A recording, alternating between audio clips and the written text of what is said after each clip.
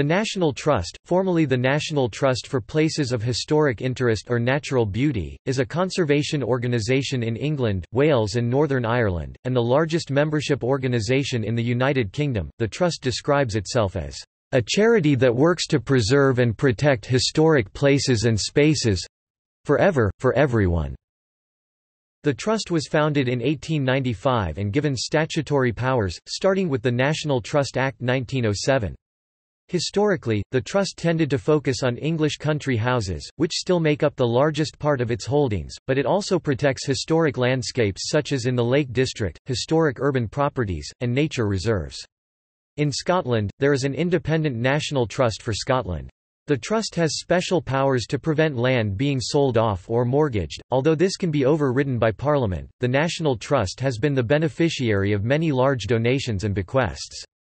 It owns over 350 heritage properties, which includes many historic houses and gardens, industrial monuments, and social history sites. Most of these are open to the public, usually for a charge. Others are leased, on terms that manage to preserve their character.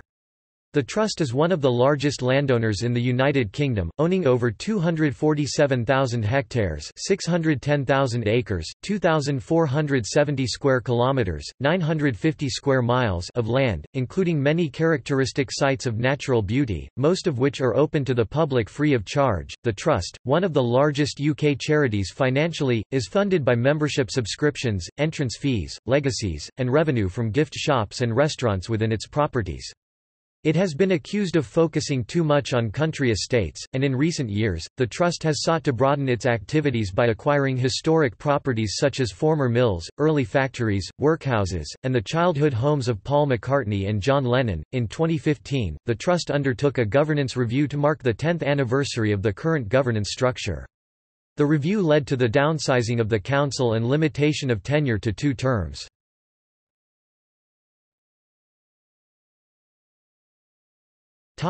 History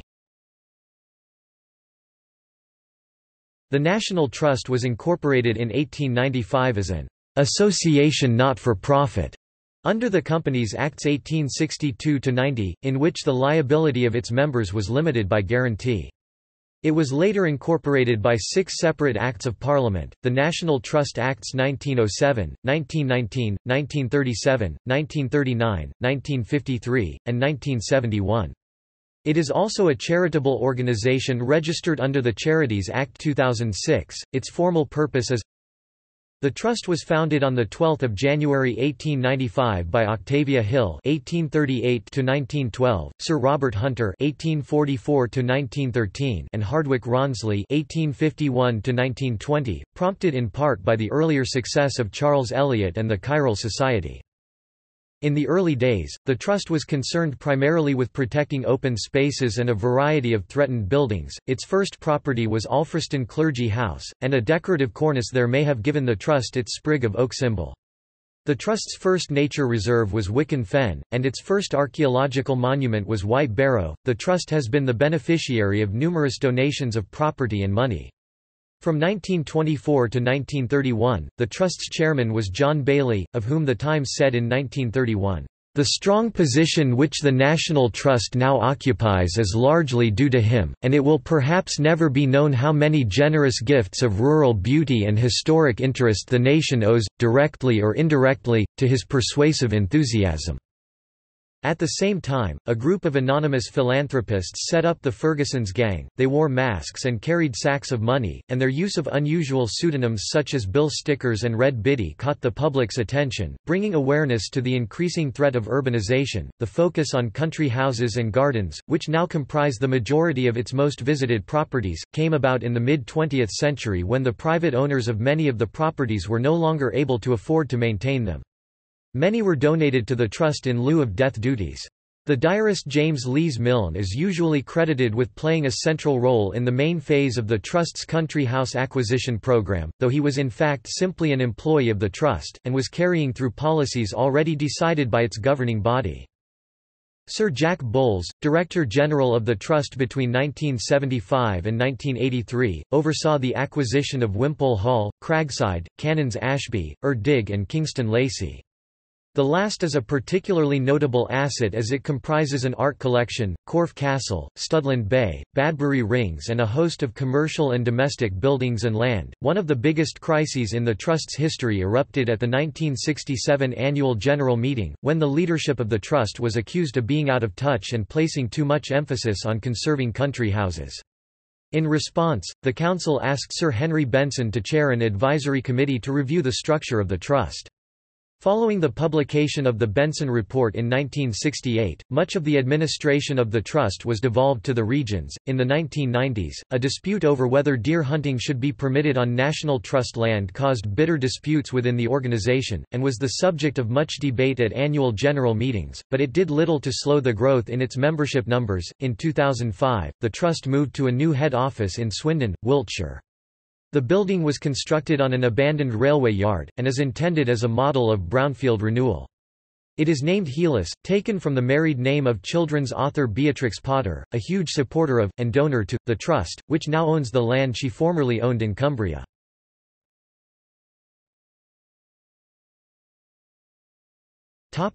Governance The Trust is an independent charity rather than a government institution. Historic England and its equivalents in other parts of the United Kingdom are government bodies that perform some functions which overlap with the work of the National Trust. At an operational level, the Trust is organised into regions which are aligned with the official local government regions of the UK.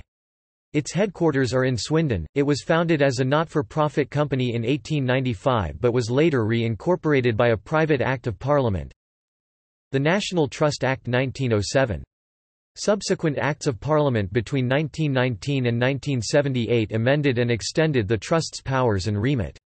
In 2005, the governance of the Trust was substantially changed by the Charity Commission. The Trust is governed by a 12 strong Board of Trustees, appointed and overseen by a council of 26 people elected by the members of the Trust, and 26 appointed by other organisations whose work is related to that of the Trust, such as the Soil Association, the Royal Horticultural Society, and the Council for British Archaeology. The members elect half of the Council of the National Trust, and periodically, most recently, in 2006, vote on the organizations which may appoint the other half of the council. Members may also propose and vote on motions at the annual general meeting, although these are advisory and do not decide the policy of the trust.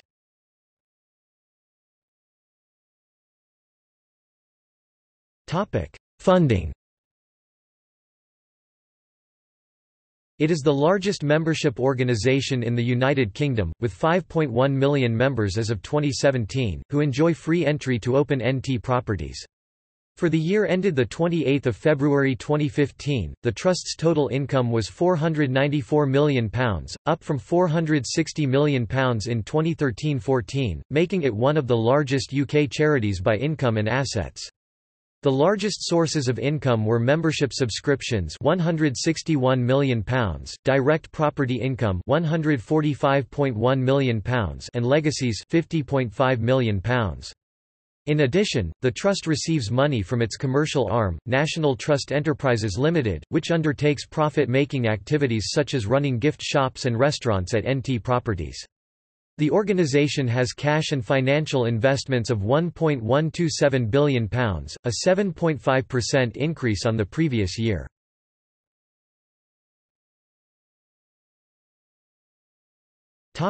Membership and volunteering The Trust is one of the largest membership organizations in the world, and annual subscriptions are its most important source of income. Membership numbers have grown from 226,200 when the Trust celebrated its 75th anniversary in 1970 to 500,000 in 1975, 1 million in 1981, 2 million in 1990, and by 2015, membership had reached 4.24 million. Members are entitled to free entry to trust properties that are open to the public for a charge. There is a separate organization called the Royal Oak Foundation for American Supporters. The trust is heavily supported by volunteers, who, as of 2013, numbered approximately 70,000, contributing 3.77 million hours of work, worth an estimated £29.2 million. Volunteering experiences are wide and varied, ranging from helping in its historic houses and gardens, to fundraising and providing specialist skills. The Trust is a member of NCVYS in recognition of its work for the personal and social development of young people.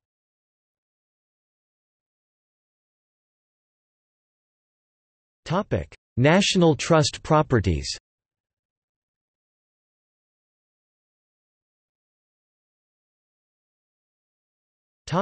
Historic houses and gardens The Trust owns 200 historic houses that are open to the public. The majority of them are country houses, and most of the others are associated with famous individuals.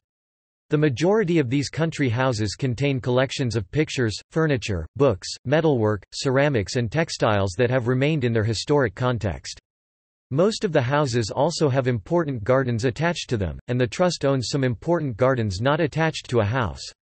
The properties include some of the most famous stately homes in the country and some of the key gardens in the history of British gardening. The Trust acquired the majority of its country houses in the mid 20th century, when death duties were at their most punitive and many houses were being demolished.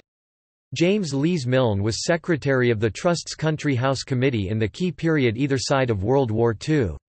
The arrangements made with families bequeathing their homes to the Trust often allowed them to continue to live in the property. Since the 1980s, the Trust has been increasingly reluctant to take over large houses without substantial accompanying endowment funds, and its acquisitions in this category have been less frequent. In recent years, the Trust has sought to broaden its activities and appeal, mainly by acquiring historic properties such as former mills, early factories, workhouses, and the childhood homes of Paul McCartney and John Lennon. Some properties have individual arrangements, so for example, Wakehurst Place is managed by the Royal Botanical Gardens, Kew and Waddesdon Manor by a private foundation, both are open to the public.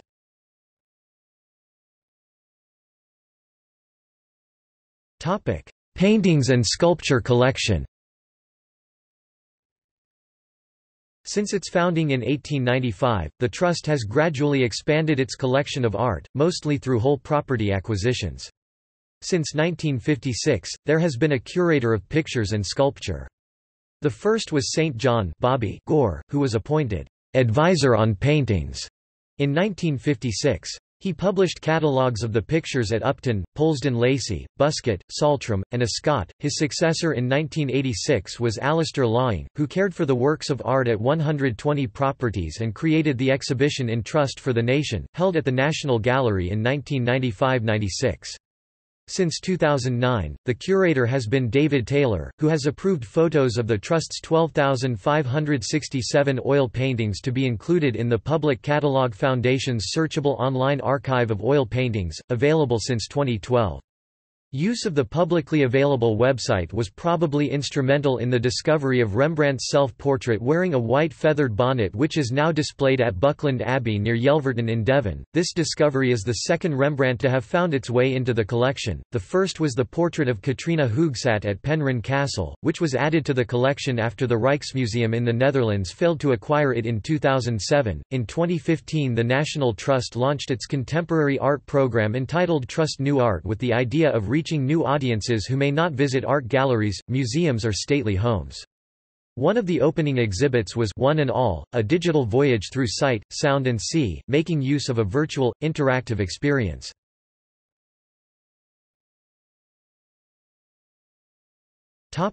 Coastline and countryside The National Trust is the largest private landowner in the United Kingdom. The Trust's land holdings account for more than 610,000 acres 250,000 hectares, or 985 square miles 2,550 square kilometers, mostly of countryside, and covering nearly 1.5% of the total land mass of England, Wales and Northern Ireland. A large part of this consists of parks and agricultural estates attached to country houses, but there are many countryside properties which were acquired specifically for their scenic or scientific value. The trust owns or has covenant over about a quarter of the Lake District, it has similar control over about 12% of the Peak District National Park e.g. South Peak Estate and High Peak Estate. It owns or protects roughly one-fifth of the coastline in England, Wales and Northern Ireland 775 miles 1,247 kilometres, and has a long-term campaign, Project Neptune, which seeks to acquire more.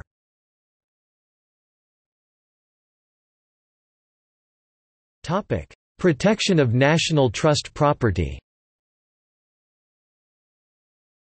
The National Trust Acts grant the Trust the unique statutory power to declare land inalienable. This prevents the land from being sold or mortgaged against the Trust's wishes without special parliamentary procedure. The inalienability of trust land was overridden by Parliament in the case of proposals to construct a section of the Plympton bypass through the park at Saltram, on the grounds that the road proposal had been known about before the park at Saltram was declared inalienable. The Acts also give the Trust the power to make bylaws to regulate the activities of people when on its land. All photography at National Trust properties, other than that for private and personal use or for entry into approved competitions, is strictly prohibited, except for social networking sites such as Flickr. Visitors are instead directed to request images from the National Trust Photo Library. In 2017, the National Trust was criticized by members for supporting the government's intention to build a 1.8 mile long tunnel under the Stonehenge World Heritage Site as part of the plans to upgrade the A303 motorway. The trust was accused of prioritizing government criteria like cost-effectiveness and deliverability over cultural heritage and environmental preservation.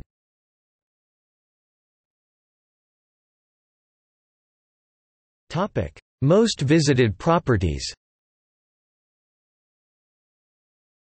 The 2015-16 annual report lists the National Trust properties for which an admission charge is made that attracted more than 50,000 visitors. The ten most visited properties are